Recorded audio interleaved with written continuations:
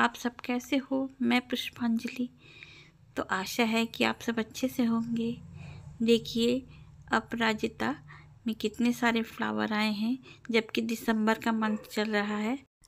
अपराजिता एक बहुत ही शुभ पौधा है, जो कि सभी के गार्डन में होता है।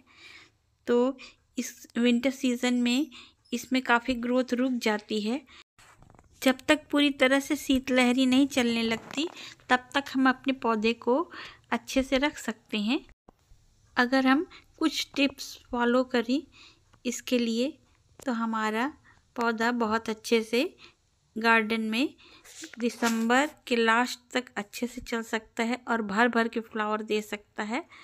तो देखिए, ये देखिए हमारे अपराजिता में कितने सारे फ्लावर लगे हैं। अभी दिसंबर का ही मंथ चल रहा है। ये देखिए, बहुत सारे फ्लावर लगे हैं। अंदर अंदर हैं, दिखाई नहीं पड़ रहे हैं। आप देखेंगे गौर से तो आपको दिखाई पड़ेंगे। तो पहली बात, आप इसको जहाँ भी लगाए हैं तो इसकी मिट्टी हमेशा भुरभुरी बनाए रखें और अगर पानी ज़्यादा रुकता है तो इसमें ड्रेनेज होल सही कर लें और इसकी गुड़ाई करते रहें बराबर, क्योंकि इस समय विंटर सीज़न में पानी एक बार दे देंगे तो अगर ज़रा भी हो ड्रेनेज होल गड़बड़ रहा तो आपका ये प्लांट पानी की वजह से ख़राब हो जाएगा। हफ़्ते में एक बार गुड़ाई ज़रूर करें।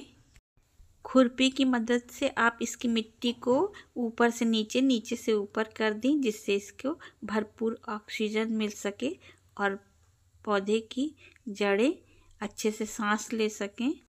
आप इसको ऐसी जगह रखें जहाँ चार पाँच घंटे की भरपूर धूप आए। जैसे कि जब तक कि शीतलहरी नहीं चल रही है, तब तक आपका ये पौधा भरपूर फ्लावरिंग करे, आपको फूल देता रहे। और इसके जो भी बीज ज़्यादा बन रहे हैं फ्लावरिंग होगी तो बीज बनेंगे ही। बीज अगर बनते हैं तो आप उसके बीज भी निकालते रहें और इसके फ्लावर सूखे हुए उसको भी निकालते रहें। इससे इसकी एनर्जी बनी रहेगी और इसमें काफ़ी फ्लावरिंग होती रहेगी। इसके फूलों की चाय भी बनती है, जो कि बहुत ही स्वास्थ्य के लिए लाभदायक होती है। तीन चार फूलों को आप ले लेके अपने चाय गर्म पानी में डाल के चाय बना के पी सकते हैं। सुबह सुबह बहुत ही फ़ायदेमंद होती है। आप इस पौधे में चार पाँच फलियों को ज़रूर छोड़ दें अगले सीज़न के लिए, जैसे कि आप इसके बीजों को लेकर के, सुखा करके अगले सीज़न में आप इस्तेमाल कर सकें। मान लीजिए आपका पौधा ख़राब हो जाता है तो आप नए बीज भी से नए पौधे तैयार कर सकते हैं। तो फ्रेंड्स इसमें फ्लावरिंग के लिए आप सरसों की खली सौ ग्राम लेकर के उसको पानी में भिगाकर दो दिन तक रखें। उसके बाद इसकी जड़ों में डाल दें। तो इसमें गर्मी बनी रहेगी और ये पौधा आपका फ्लावरिंग करता रहेगा। तो इसको ठंड का असर कम होगा। तो इसको महीने में एक बार आप सरसों की खली दे दें। जब बहुत अधिक ठंड पड़ने लगे तो आप इसमें कोई भी फर्टिलाइज़र न दें, ऐसे ही रहने दें। उसके बाद मार्च में जब इसकी ग्रोथ स्टार्ट हो जाएगी तो आप फिर से इसमें सरसों की खली सौ ग्राम दे दें। देखिए, फिर से इसी प्रकार से फ्लावरिंग इसमें होने लगेगी। और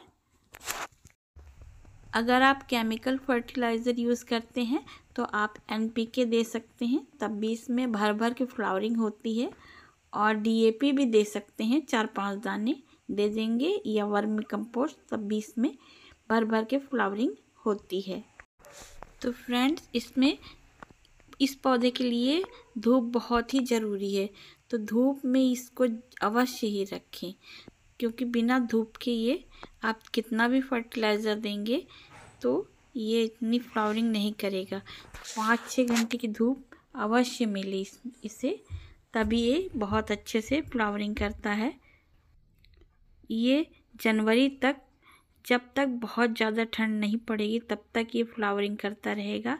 फ्रेंड्स आप इसी प्रकार से इसकी केयर करें तो बहुत ही अच्छे से ये आपका प्लांट बना रहेगा सालों साल गार्डन में। जब विंटर सीज़न शुरू हो जाए, बहुत ज़्यादा ठंड पड़ने लगे शीतलहरी, तब भी इसको धूप में ही आप शिफ्ट करें। जैसे कि ये पौधा विंटर सीज़न में शीतलहर के कारण ख़राब ना हो जाए, इस बात का ध्यान रखें। तो अपने पौधे को आप धूप में ही एकदम रखें। जैसे कि इसमें किसी प्रकार का कोल्ड अटैक ना हो और ये पौधा बचा रहे और फरवरी, मार्च में फिर से ये ग्रोथ कर सके। देखिए हम इसको टब में एक लगा रखे हैं और ये देखिए मेरा दूसरा प्लांट है। ये भी बहुत अच्छे से फ्लावरिंग कर रहा है।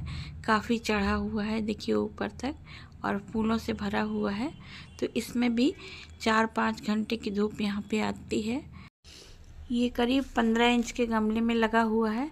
तो अपराजिता को जितने बड़े गमले में आप लगाएँगे, उतने अच्छे से ये सरवाइव करता है। तो आप ये भी ध्यान रखें कि थोड़े बड़े गमले में या चौड़े टब में ऐसे ही जगह लगाएँ, जैसे इसकी जड़ें अच्छे से फैल सकें। तो फ्रेंड्स इस प्रकार आप अपने अपराजिता का ख्याल रख सकते हैं। यह बहुत ही हार्डी प्लांट होता है, जो आपके गार्डन में पूरे साल फ्लावर देता है। यही दो महीने छोड़ के, देखिए दिसंबर में भी ये फ्लावरिंग कर रहा है। जनवरी, फरवरी छोड़ के, फरवरी के लास्ट से फिर से इसमें फ्लावरिंग होने लगेगी। तो ये बहुत ही अच्छा और शुभ पौधा है। तो आप थोड़ा इसका ख्याल रखेंगे तो ये आपके गार्डन में भर भर के फ्लावर देगा। तो फ्रेंड्स, आपको ये जानकारी कैसी लगी? अच्छी लगी हो तो प्लीज़ लाइक करिएगा, शेयर करिएगा, सब्सक्राइब करिएगा। तो चलिए, मिलते हैं अगले वीडियो में। धन्यवाद।